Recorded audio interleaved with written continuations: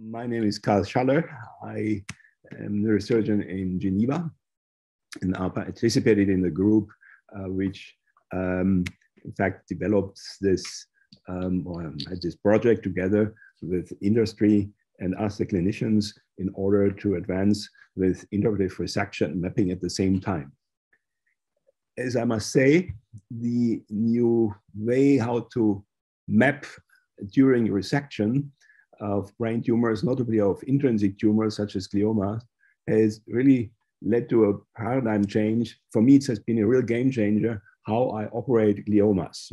Also, how I prepare the cases beforehand, and um, as you will see, um, how surgery is being guided uh, with this new and with this novel technology or tool.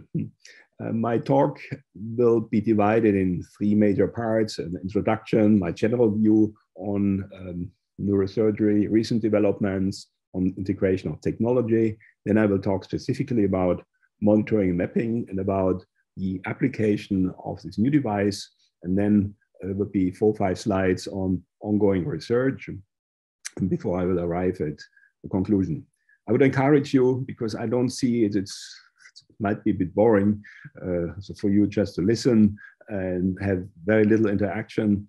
Um, if you have a question, please interrupt uh, me or sort of signal that to the steering team so that, uh, that your question will pop up immediately in some corner here on my screen. For the time being, I can't see any questions or any, any uh, comment box, but you may signal this to the steering team and then I will of course interrupt and immediately refer to your question. It might be a bit more fun. So how about monitoring and resection mapping in neurosurgery? And why is this so different from how I used to work before? Hmm. Well, first of all, um, I would like to share this. In fact, this is a slide I did many years ago uh, while I was still trying in epilepsy surgery in Bonn. And uh, this shows a bit the general concept of uh, brain surgery. Uh, frequently, we are confronted with a circumscript or infiltrative lesion uh, in any area of the brain, which may, if it's epileptogenic, may be surrounded by an epileptogenic zone. Or if we are talking about a glioma, which may have an overlap of the functionally relevant zones. So on the one hand, we would like to control the disease, so we have to be as radical as possible. On the other hand, of course, we need to preserve function in order to do as little damage as possible to our patients. And this, of course, requires um, you know, safety measures before and especially during surgery. And this is where monitoring and mapping, of course, comes into play. Uh, when I arrived in Geneva, now, well, now well over 15 years ago, there has been no um, team dedicated to intraoperative mapping and monitoring. So this was something we started from scratch here. And as opposed to other centers um, where there was already internally interested um, neurosurgeons and neurologists. In fact, I had to start out with engineers from the engineering school, uh, EPFL, and also our local engineering school. And then later on, there were um, more neuroscientists, neuroscience oriented people who joined the team. So the approach is a bit different. However, um, it uh, has really flourished and um, came to fruitful collaboration uh, between the engineers of our team and the engineers of interested industrial partners, which of course uh, I will show you later what uh, has led to the current um, application of resection mapping in neurosurgery. So um, when reflecting on glioma surgery, then the glioma surgery in uh, up to now, December 21, January 2022, um, in the past, what I would call neurosurgery 1.0, uh, when monolithic, monumental pioneer neurosurgeons decided everything. They opened the head, they did the clinical assessment of the patient, and they played, of course, the most eminent uh, role in the whole uh, setting. Anesthesiologists were, would hardly exist. Of course, they would follow the order by the surgeon.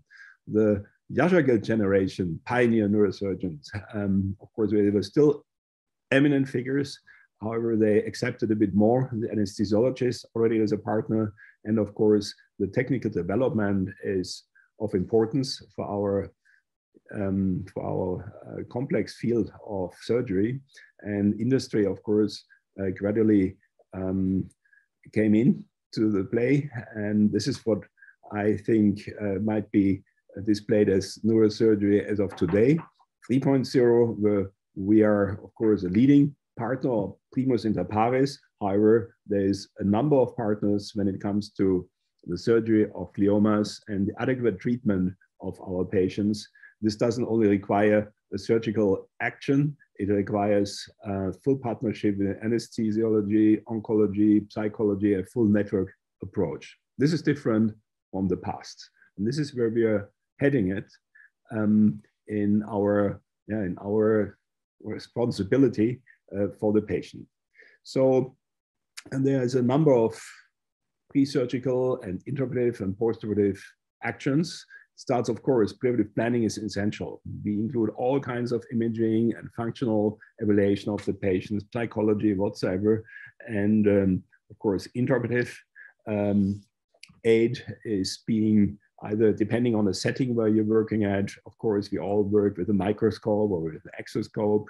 Um, however, some centers may already have access to intraoperative MRI, other kinds of imaging, intraoperative fluorescence, and of course, awake anatomy might be an option. But of course, monitoring on mapping. This is what we are centering around today. Um, connectivity is key. Um, so the upper left corner, you see already uh, the resection device, what we are talking about today. But so far, all these tools like this one, or the microscope, or the monitoring device, or even our the way how we navigate and manipulate the images, all these are kind of standalone solutions in an ever complex environment, which is our OR. And this is where we are, in fact, should, we should rule. And it's our responsibility to, to make sure that all data are uh, present in order to uh, safely operate our patients. But all these things need to be connected in a meaningful way to make our work more intuitive and of course, very safe. And I show you how it's happening in our department and with the new resection mapping device and can assure you that in the future, even the head clamp will be an integral part of all this, um, this, this, this pilot system where everything will be connected, data will be available, and all these tools shall communicate in a, in a useful manner. So the preoperative setup for planning, you're all aware of this. You may do it uh, in front of a screen, or you may use these uh, fancy mixed reality goggles. Doesn't matter, of course, uh, but you you need, uh, given the enormous amount of preoperative images which are being acquired, be them functional or structural or whatsoever, you need tools to help you to focus on the essential, which means you have to define the lesion and find what is important around and then virtually move the patient in the ideal position to plan your approach and take out the lesion. Intraoperatively, you may use um, a combination of the microscope and your navigation tool. And in order to um, develop mixed reality approaches, and I'm saying really mixed reality because um, which will allow you a super imposition of the images on the patient on the patient's head to plan craniotomy and how to, which allows you already to position the patient in an adequate way, but also during surgery, uh, where you may constantly recalibrate the accuracy of your image. And mixed reality is important because it allows you to interact and to have a real overlay on real anatomy and how to introduce tools which you may mark in order to um, uh, in order to have them um, in order to have them being part of this setting. And there was just a question, but I haven't, now it disappeared. I don't know. Uh, there was a question about uh, vestibular schwannoma. Uh, this was yeah. all I saw.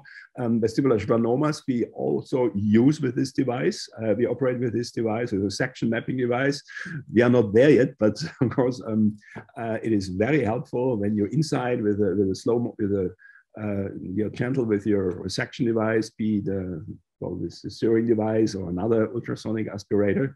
And you may always follow uh, and use this as a, as a mapping device um, along the facial nerve, for example. And if you combine it with mixed reality, where you may even uh, have a visualization of uh, other nerves or the internal meatus, uh, this is extremely helpful. So this works for vestibular schwannomas as well and for other kinds of tumors. You'll see. Um, then um, the mixed reality, in fact, this has been evaluated by uh, Julie Hammerly from my group and Philippe Bijlenga.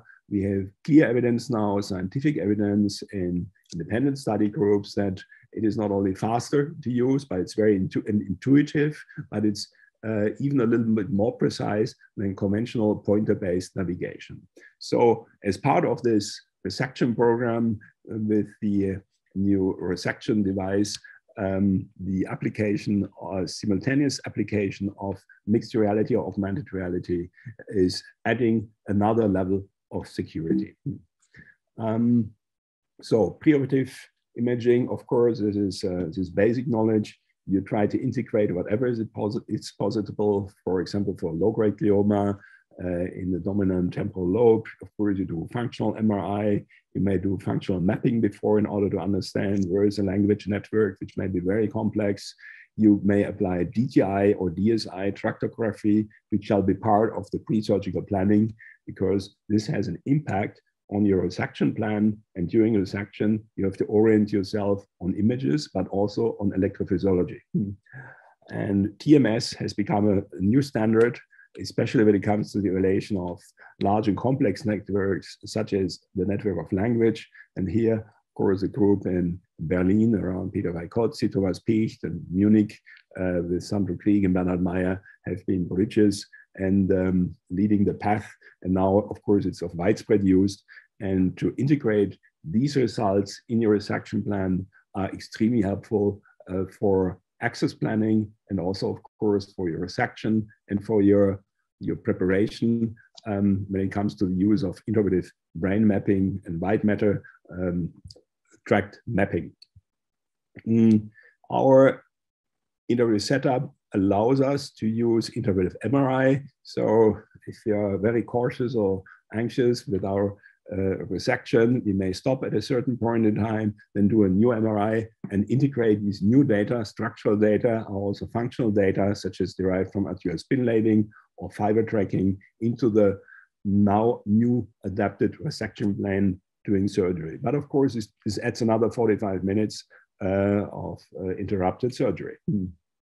Modern microscopes allow, of course, um, due to their robotic or exoscopic um, um, properties and qualities uh, allow to look at all angles, at pre-plan angles, but also they allow, of course, to uh, integrate in a 3D way an overlay of mixed reality pictures. And this is, this is of course very colorful, but it's also just to show uh, what is possible. Each surgeon has his own or her own preferences. Doesn't have to be super blue, but some people like uh, five or 10 or 20 different objects in the microscope. I don't like that.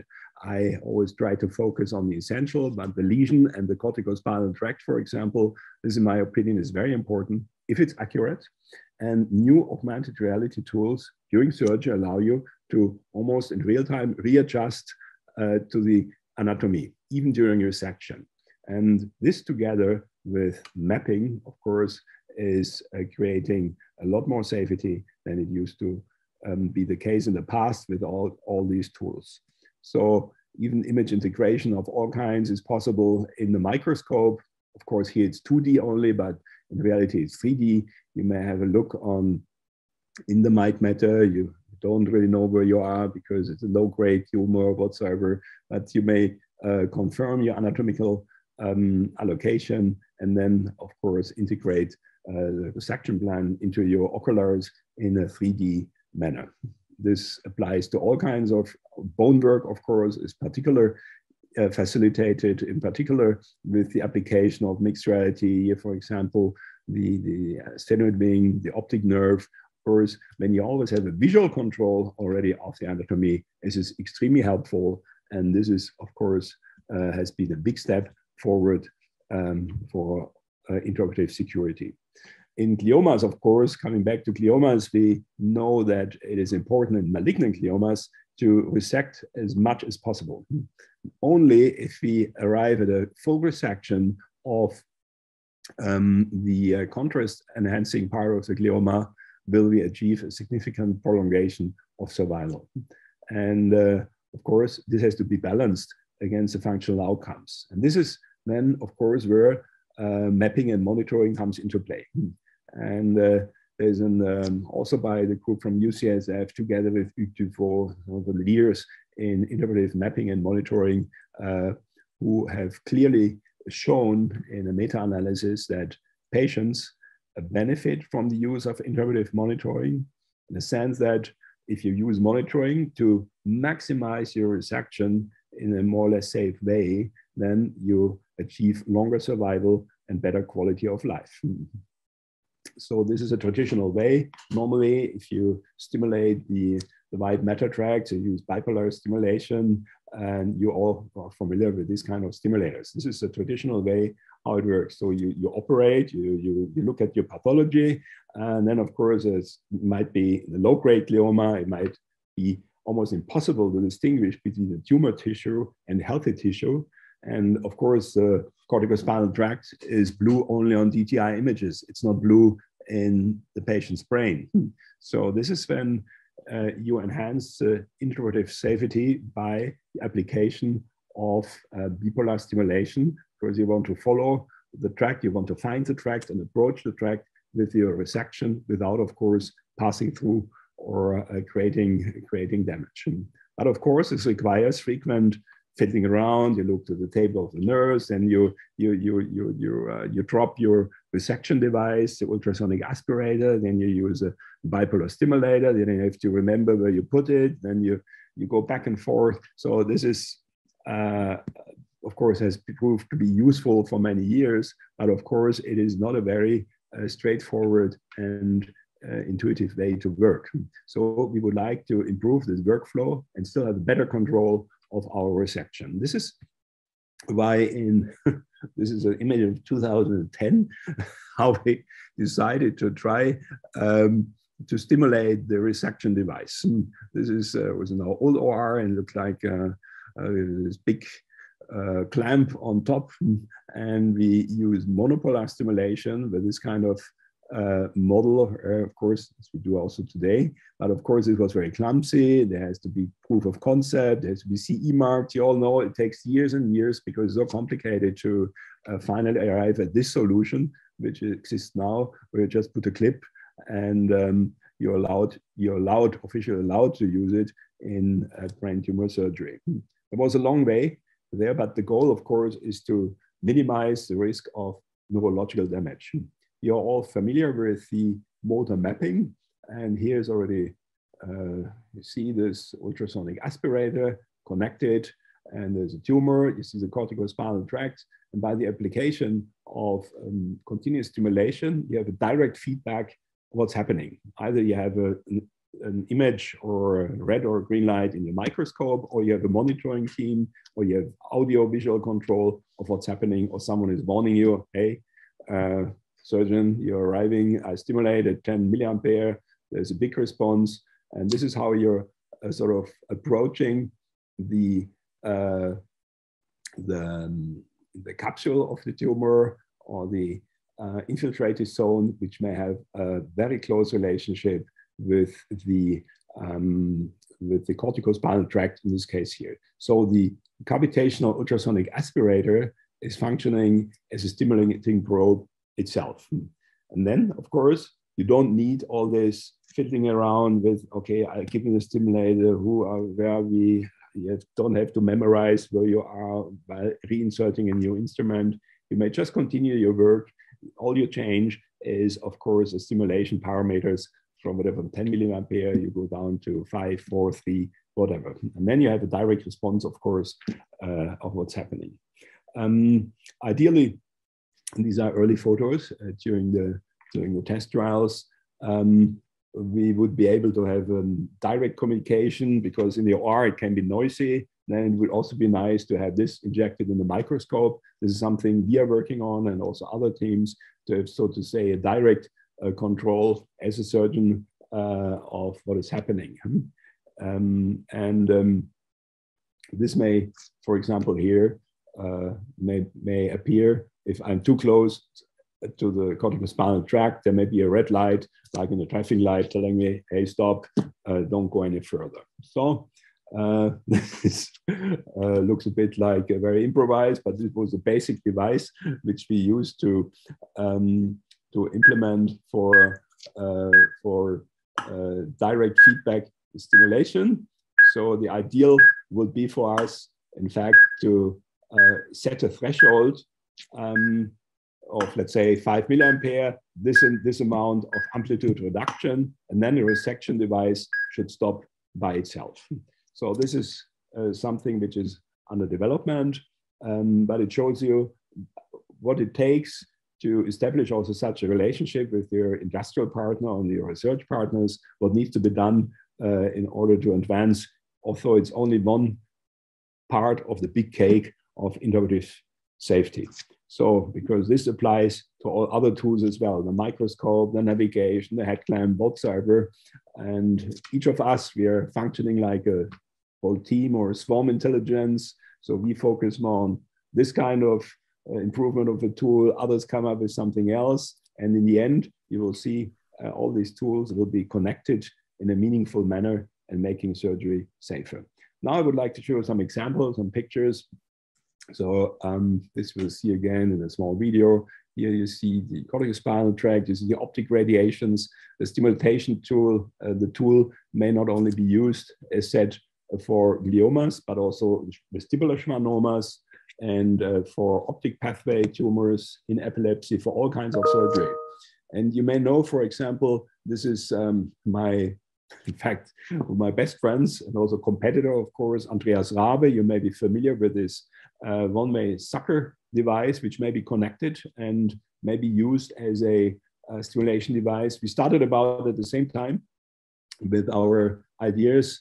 I wanted to have my resection tool. I found it more logical to use a resection tool as a mapping tool. And but he introduced the, the sucker, and I think these are very complementary tools. But the goal is always to be in the, the focus of your work, where you really see what you're doing also to have the physiological feedback from um, from your um, from your stimulation. I see there's a question. Um, integration with bone CUSA possible? Uh, yes, possible. Vestibular schwannoma, I told you, yes, very helpful. I always use it. Um, is it complex? Another question from uh, Holger uh, he is asking, is it complex to set up the combination of ultrasonic aspirate and mapping device? No, it's not difficult. You will see it in, in a minute. I'll show you. And um, any grounding ultrasonic aspirator? Um, this is a more engineering physical question. Of course, we had to work uh, on a lot of issues related to um, to to um, of, of, electrostatic issues, but these have been resolved in a in a normal. It's really not a big deal anymore. Um, and but now these issues have been resolved, um, like grounding and whatsoever. So I hope I answered these questions, and now we we go on. Um, this is how it looks. See, this is the nurse. Duck. One click. Now the device is connected. You see the the cable here, and I'm sitting here, and then of course surgery may uh, may continue. I can show you one more time. So in one second, you just click it on the handpiece, and it's done. So very easy. Um, this is uh, just to show you various ways how to use it. Um, you see the corticospinal tract, the lesion, and then you may have audio visual feedback. For example, you will hear in a second, depending on what monitoring device you use. Um, see here, we have the, here's the foot, here is the hand, and you may have feedback immediate feedback from the use of this device. This is a, another example which includes, as you can see here, the mixed reality um, display of the corticospinal tract. And you may, uh, may then see what's happening at the uh, level of the potentials. This is another example. I move a bit forward, but you have good audio. I don't know, no, let's put here. C8, S2, C7. So you immediately get a feedback even uh, for the myotome, C7, C8, L2, whatever. Yeah? L4, C8. So you, you know exactly where you are. You know what's the stimulation uh, strength, amplitude. S2. And then S2. you hear if you're close to the face, close to the arm, S2, or close to the leg. Hmm. S2, Uh, when you're operating on, for example, insular gliomas and you approach the, of course, the, the, um, the knee of the internal capsule at some distance, but everything looks deformed, then you may use this tool in an ideal manner to gradually approach uh, the hot zone. You may combine it with um, um, with fluorescence. For example, some people uh, like to do surgery uh, under blue light because then they have the maximum uh, visualization of the chromophores. And of course, then you use your stimulator or suction mapping device.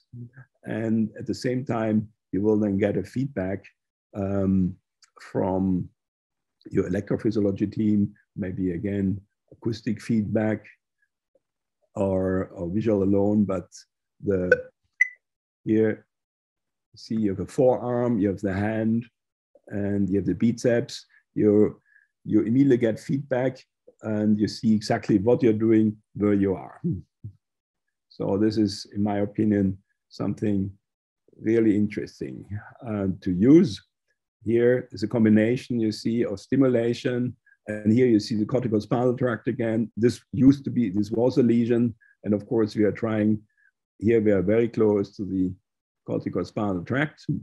Here you have the left foot, tibia left, vastus lateralis left, and here the left arm. And of course, if you're coming too close to the corticospinal tract, we would have the alarm uh, running. So, and this is, in my opinion, a very, very helpful tool to have direct visual control and electrophysiological control of what you're doing. Um, this is just, um, uh, this was when during intraoperative imaging was used. We were a afraid going back further, but you use all the integration of this imaging together with um, such kind of a resective resection and mapping device. This has been validated and published uh, not long ago. The proof of concept has been published. Now we have the first patient series for motor uh, was published. The rule of thumb, which is of course very tempting, that one millimeter ampere translates in one millimeter distance. It was not entirely true for our series. Here you see our idealized, uh, our, our um, uh, extrapolation. We had um, uh, one patient where, at, um, where it was really disproportionate, um, the discrepancy between stimulation and distance from the um, from the um, corticospinal tract. Um, so it cannot be entirely trusted. You have to apply your own surgical experience and reasoning in order to safely resect when you're approaching um, the corticospinal tract, for example, or the visual tract. In the end, uh, you have to trust yourself and the method. When once you're used to it, uh, when you combine what you see, what you have as visualization information at hand from navigation and as well uh, as a physiological feedback through the stimulator device. Um, this was publication and this was a case I've already shown to you, but because we also applied, of course, for the visual pathway and for other uh, pathways and the vestibular schwannomas, of course, uh, it's equally possible. Um, now the last part, but only four or five slides, all this to show you that um, all this requires, of course, an environment which uh, fosters and promotes uh, applied research. Um, uh, of course, most neurosurgeons will never, uh, of course, win a Nobel Prize, but what we can do, we can gradually uh, improve our working environment and the safety of surgery, uh, which is, of course, important for our patients. So on the one hand, we are um, teaming up with, for example, um, the Söring team for the ultrasonic resection mapping. But of course, on the other hand, we also need uh, better electrodes because with brain shift, the traditional electrodes, they move around. They are not really um, um, smooth to, to apply.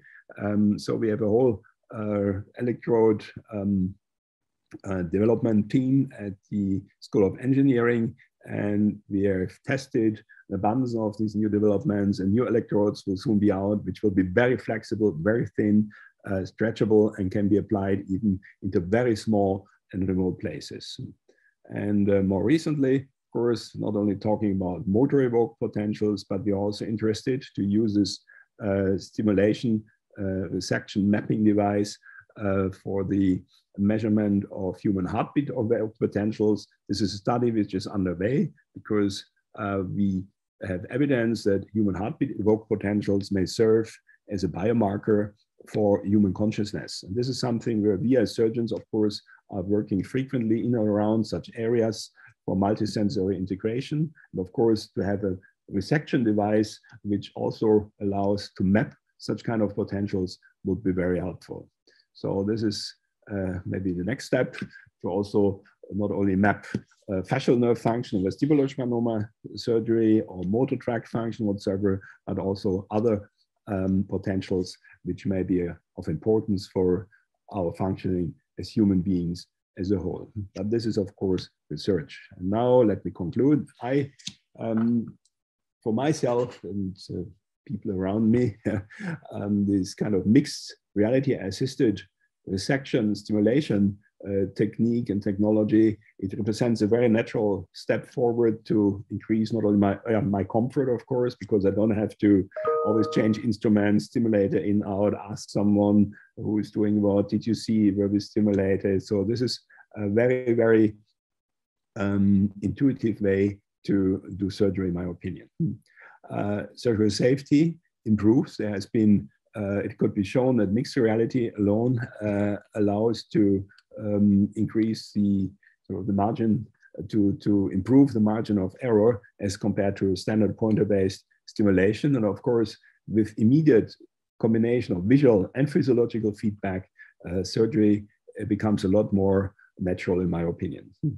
And um, it is also helpful to use, of course, mixed reality because it allows you to interact with the patient anatomy, with the tools, and with the pre-surgical information, which of course uh, has to be integrated and um, be part of your uh, surgical setup to be available and accessible during surgery. As otherwise, it doesn't make sense to have 100,000 of images if you cannot access them in real time during surgery. Of course, important, you saw how important it is if you want to map something, you need the white matter tracks at high resolution and the combination of um, navigated TMS, uh, as said, and of uh, either diffusion sensor or tensor imaging is very important.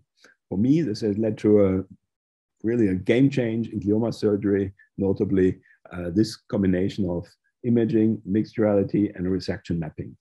And I think this is exemplary for uh, our um, also for our duty to advance technologically and it shows how it is possible. Also, it takes years, of course, and a lot of patience um, on the way to what um, at least I'm dreaming of a full connectivity of my surgical environment and of all these devices and tools which we are using.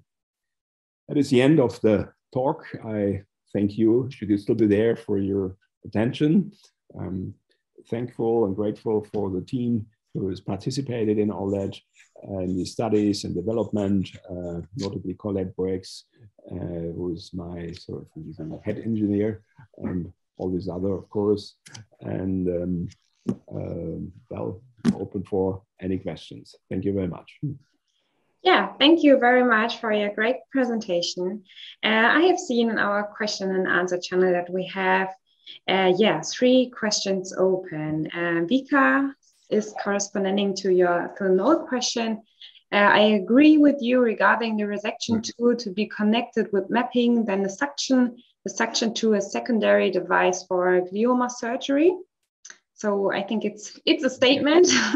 yeah, I see it there now. I see it. Yeah. Because it's 17, 29 minutes. Yeah.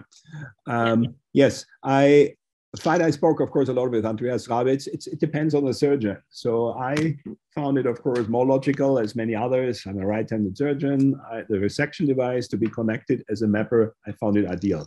For others, um, they like more the the suction device. Doesn't matter. But what is good, also from your side, is that you're providing the option uh, to let people select.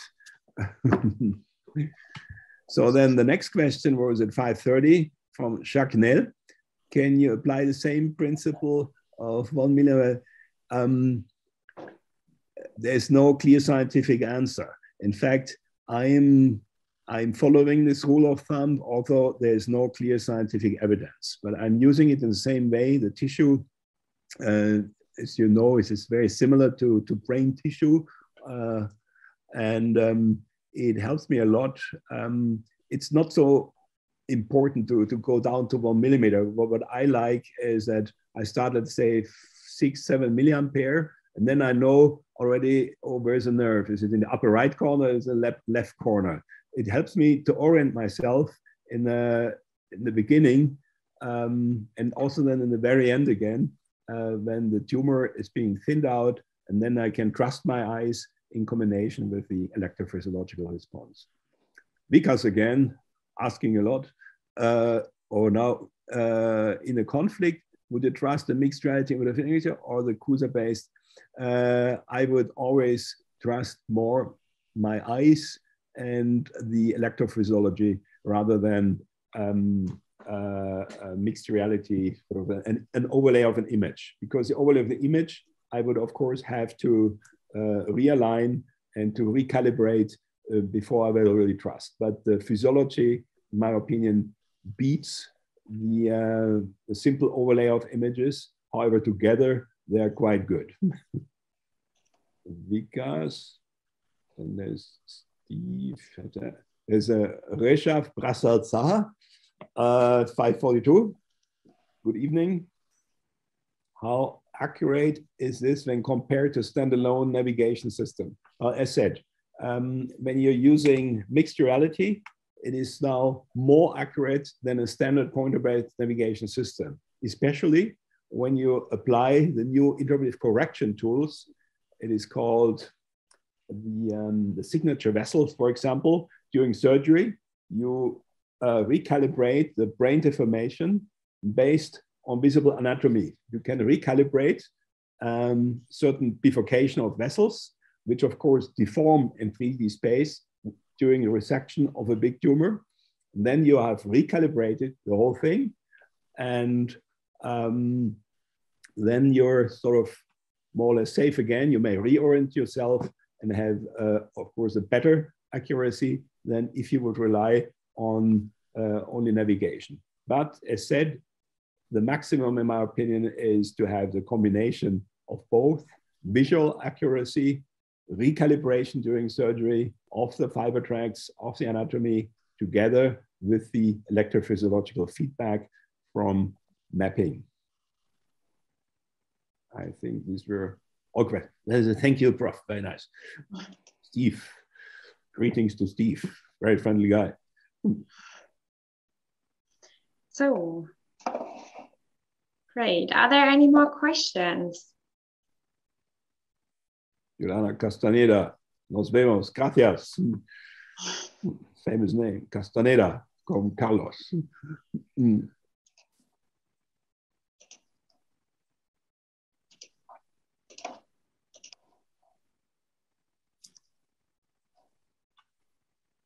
Okay, if there aren't any more questions, um,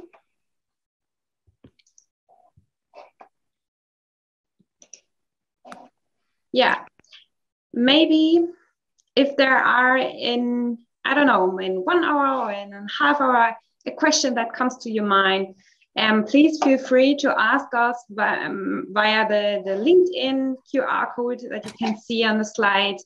And just let us know by the comments maybe, or contact us directly. Then we will, um, yeah, we will share the question with uh, Professor Schaller. Oh, there is there is a question. yeah, is there any interaction between ultrasonic uh, with electric impulses? This is um, uh, this is a question which was raised in the very beginning, and um, uh, as a doctor, I was of course not able to to solve all that. But um, um, Colette Boex, I mentioned her. She has a PhD in engineering, and we have a bunch of engineers, and all these things uh, have been ruled out. Uh, sometimes, of course, as you may know, there may be an issue with mapping and monitoring in surgery. Um, we had an issue with one particular microscope which disturbed um, sort of the mapping. So you need you need to know your room, you need to know your instruments and your your sort of your monitoring team so as to make sure there is no disturbance. But the ultrasonic itself um, does not have a negative impact on the uh, on the electric impulses. And this was ruled out. We've done lab studies uh, we've done cadaver studies, a lot of things. Uh, so this should be, um, there should be a safe and good interaction between uh, all these um, electrical and waves of sound. And um, I hope this answers your question, but I'm not an engineer, sorry. But if not, um, um, maybe uh, we, I see that uh, Colette Boex is also with us uh, and I can give her permission to speak. Oh, of course. Yeah, let Colette answer. Yeah. yeah? So uh, I think Jose Carlos Ortiz Jimenez. Hello. Colette. yeah, we hear you. Yes, um, we did uh, testing before, and uh, also what we do is that we use a system that are that have a current source, and uh, using current sources, you uh, you guarantee that you have the, the current you need, and uh, there's no interaction between the different systems the, the current will go only on the uh, electrophysiology uh, system and through the patient. I don't know if you if that respond to, to the question. Well, we maybe we will never know, but at least you gave a, a precise answer.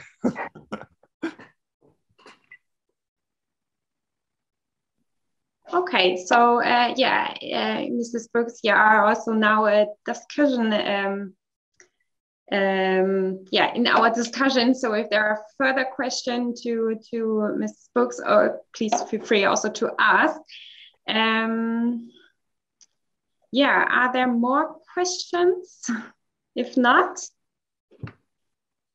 yeah, um, at least maybe I also can show you on the small, small camera our device, which is now compatible to the Inomed stimulation clip. Yeah, like uh, Professor Schaller always uh, you just have shown, it's pretty easy to connect, and that's all. So if you have some question also about the device, please feel free to ask us. So then, uh, yeah, thank you very much, Professor Schaller, for the presentation and your time. Thank you. Thank everyone for listening who stayed and hope to see you sometime. Also welcome in Geneva.